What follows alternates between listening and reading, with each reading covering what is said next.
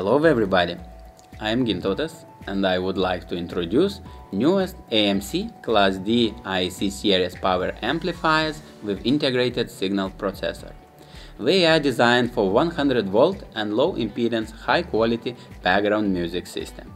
The model line consists of four types of amps, three single channel amplifiers with different power outputs, and one model with two channels, each channel 240 watts output.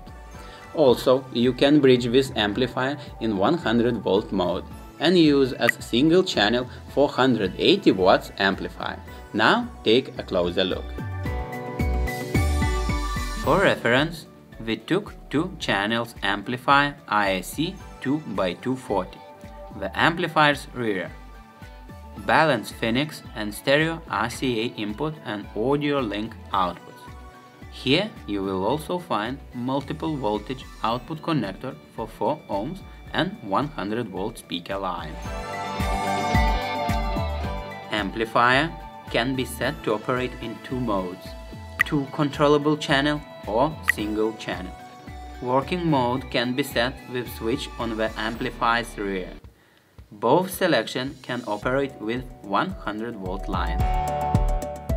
All amps have an RS232 control port for integration amplifiers with third-party automation system like Crestron, Extron, AMX and others.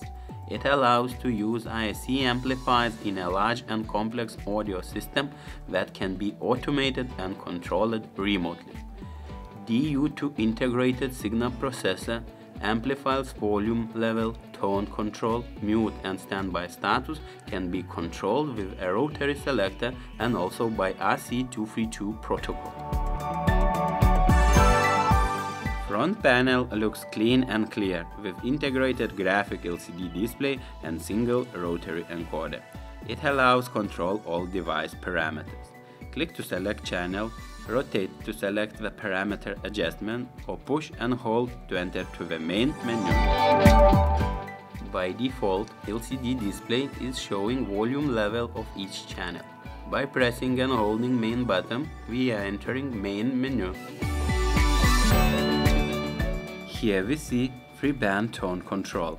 Treble, middle and bass adjustment can be made for each channel individually. It allows control EQ points in plus and minus 14 dB level. Muting function. When this option is selected, each channel can be individually muted. Sync settings. This function links audio settings from current channel to other in order to control both amplifiers channel at once.